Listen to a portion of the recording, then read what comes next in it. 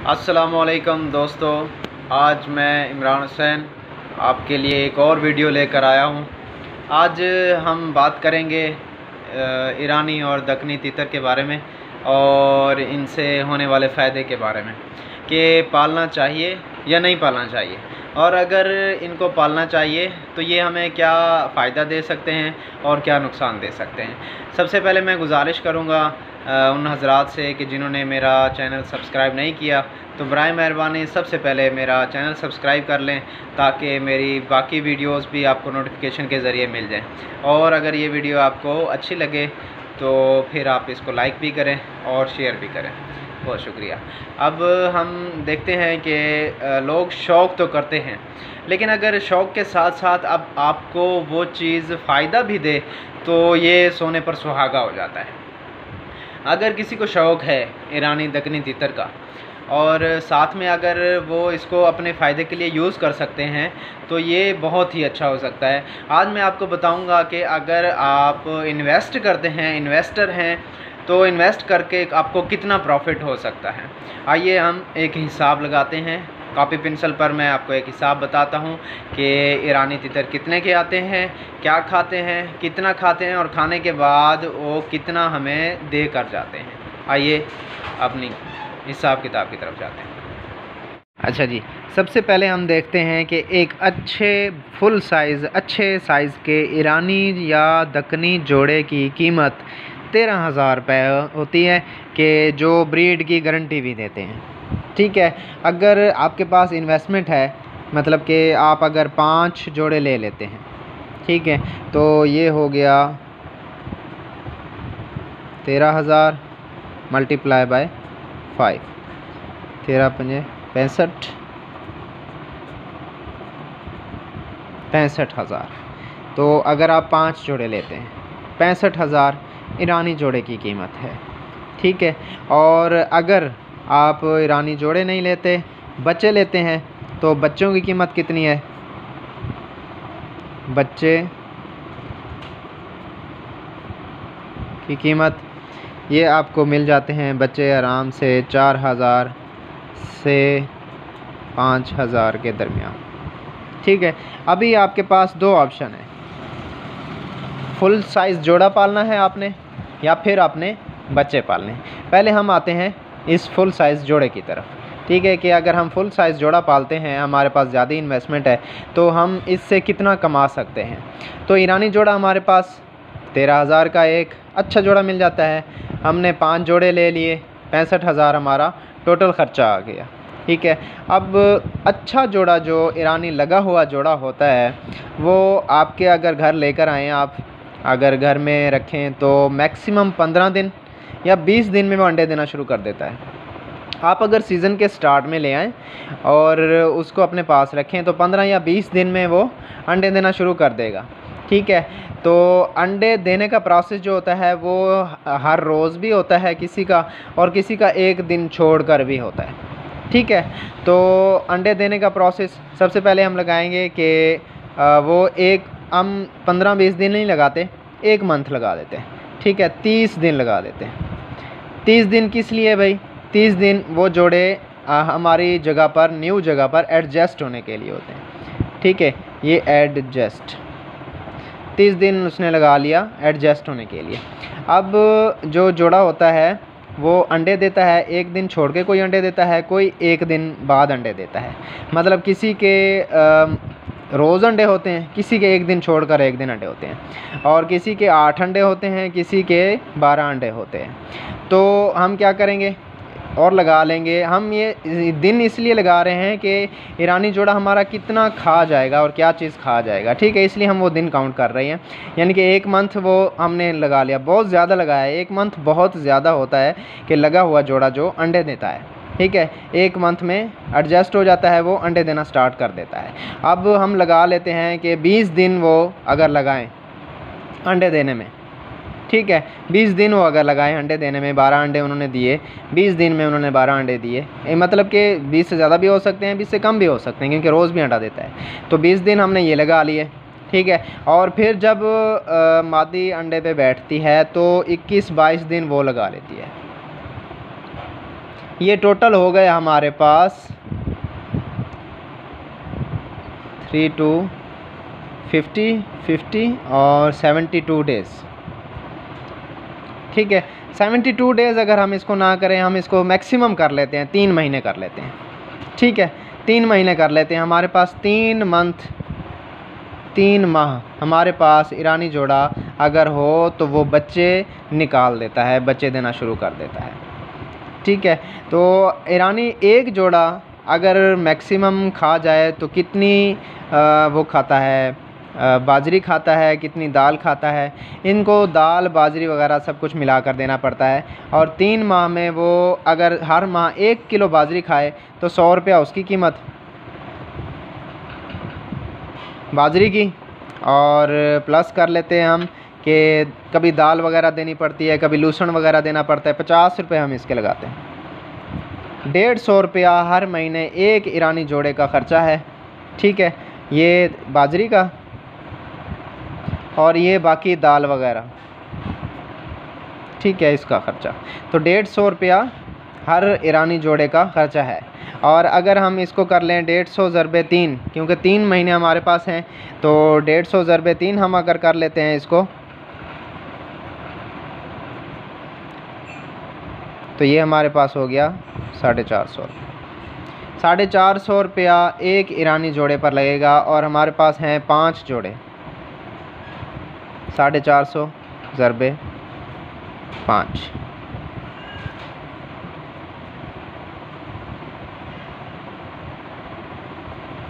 दो हज़ार दो सौ पचास रुपये दो हज़ार दो सौ पचास रुपये हमारे ईरानी जोड़े पर ख़र्चा आ जाएगा, जो कि मादी अंडे निकाल देगी।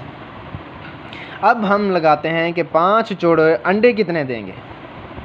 तो पाँच जोड़े अगर हम देखें कि कोई बारह अंडे देता है जोड़ा, कोई आठ अंडे दे रहा है। तो हम ना बारह करते हैं, ना आठ करते हैं, दस कर लेते हैं तो पचास अंडे टोटल कर लेते हैं पचास अंडे हम टोटल कर लेते हैं।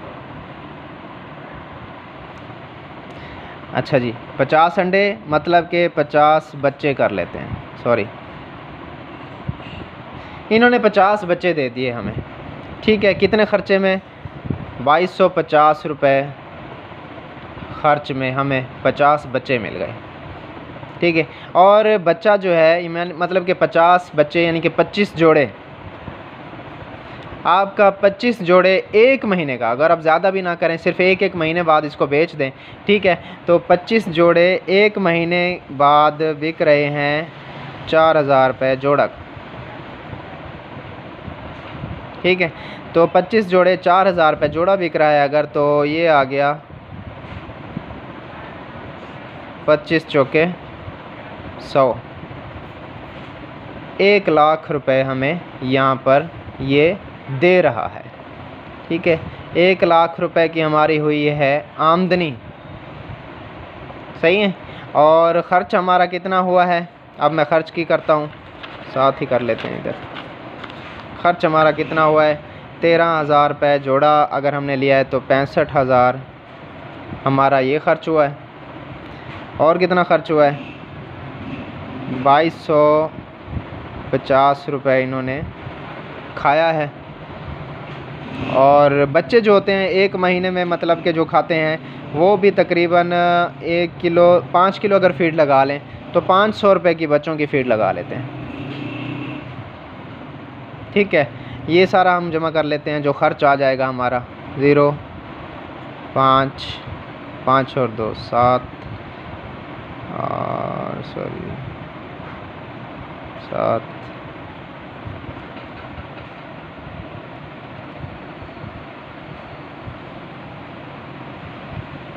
हिसाब मेरा कुछ गलत लग रहा है। पचास आ गया, सात आ गया, सतासठ आ गया सॉरी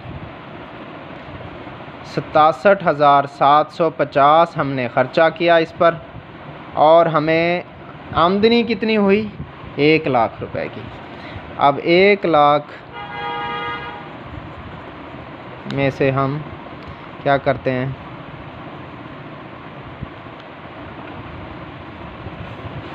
सतासठ हज़ार माइनस कर लेते हैं। ये सिर्फ़ अभी पहले मतलब के उसकी है। ज़ीरो, दस में से पाँच को पाँच तो दो, और ये, ऐसे छः गया, तीन। बत्तीस हज़ार दो सौ पचास रुपये हमें ये बच रहे हैं। और हम जब ये बच्चे ले चुके तो यही जोड़े हमारे पैंसठ हज़ार के दोबारा बिक जाएँगे। तो हमारा टोटल ख़र्च कितना आया? टोटल हमारा ख़र्च आया सताईस सौ पचास रुपये और हमारी आमदनी कितनी हुई? एक लाख रुपए।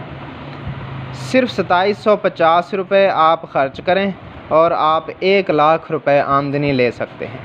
यानी ख़र्चा हमारा सतासठ हज़ार सात सौ पचास आएगा।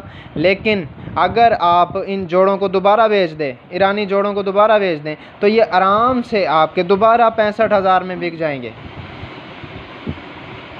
तो पैंसठ हज़ार यहाँ से ख़त्म हो गया। तो ये बाईस हज़ार पचास और पाँच सौ सताईस हज़ार सताईस सौ पचास रुपये में। आप सताईस सौ पचास रुपये ख़र्चा करके एक लाख रुपए कमा सकते हैं। ये जितने बेरोज़गार हैं, जितने शौकीन हैं, जो भी हैं, सबको मैं ये बता रहा हूँ, आज वो ऐसा राज बता रहा हूँ कि जो कि आपको मिनटों में लखपति कर सकता है। और इसमें गेम कितनी है? बहत्तर दिन। सिर्फ़ बहत्तर दिन में आप एक लाख रुपए कमा सकते हैं। ना करें, आप बहत्तर ना करें, हम मैक्सिमम कर दें, तीन महीने कर दें। मैक्सिमम हमने तीन महीने किया तीन महीने में आप एक एक लाख रुपए कमा सकते हैं। इससे ज़्यादा जो जितना इन्वेस्ट करेगा वो उतना कमा सकता है। ये अब आप पर है। आप अगर यही करते जाएँ, एक साल में ये तीन बार ब्रीड लाजमी करते हैं और कोई कोई चार बार भी करता है। तो आप इसको ना बेचें। ये पैंसठ हज़ार की इन्वेस्टमेंट अपने पास रखें और हर महीने, हर तीन महीने बाद, ठीक है सताईस सौ रुपया सताईस सौ पचास का ख़र्चा करें और हर तीन महीने बाद आप एक लाख रुपए लेते जाएँ। तो नौ महीने की जो पूरे सीज़न की होगी, वो आपकी कमाई होगी तीन लाख रुपए।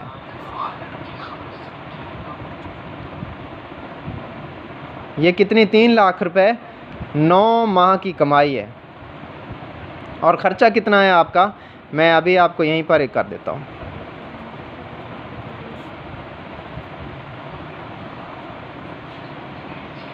आठ आठ और सात पंद्रह पंद्रह और सात बाईस चार छ आठ।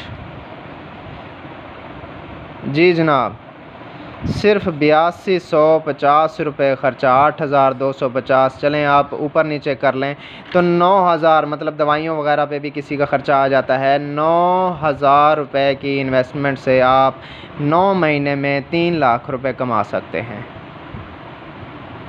कैसा रहा? ये चीज़ आज तक किसी ने नहीं बताई, जो मैं आपको बता रहा हूँ।